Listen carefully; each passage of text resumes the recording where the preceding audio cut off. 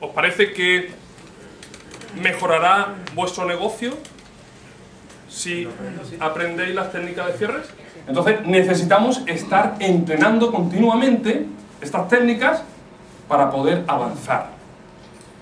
¿Dónde vamos a ensayar? Pues si eres nuevecito, con tu mujer en casa.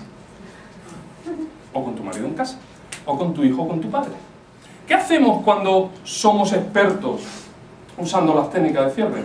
Tomamos el control. ¿Crees que es bueno para tu negocio tomar el control? Claro que sí.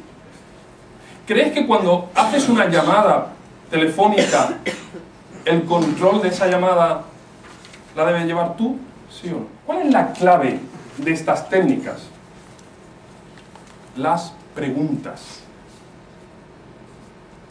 Esta es la clave, de todas. Las preguntas.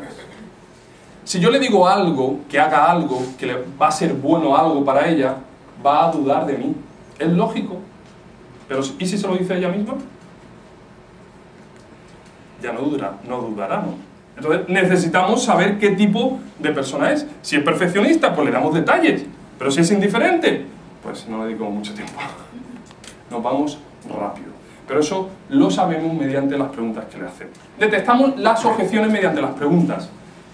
Y necesitamos saber cuáles son las objeciones que tiene esta persona sobre el negocio, sobre lo que vamos a ver, sobre el producto, porque si no sabemos sus objeciones, no podemos vencerlas.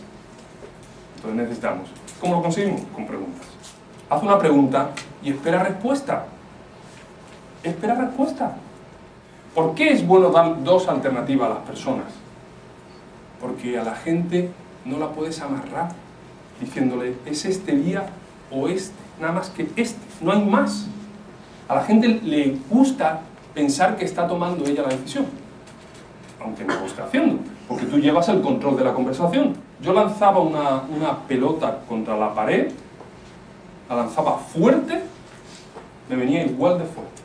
Realizar con las personas que nos, que, que nos objetan con fuerza, con contundencia.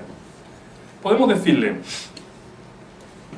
si te demuestro que eso que estás diciendo no es cierto, ¿empezarías el negocio ahora mismo? Si objetan con fuerza, le respondemos con fuerza, pero con contundencia, diciéndole que ahora, ahora mismo. Entonces la persona dice, bueno, es que, eh, bueno, en realidad, y a lo mejor ya ponen la objeción que tienen en mente que es la verdadera. Cierre de Benjamin Franklin. Dicen que es el mejor cierre y solo usan el 8% de los vendedores del mundo. Necesitamos saber más cierres que objeciones. Para poder hacer esto solamente hay una técnica. Para ti solamente hay una técnica.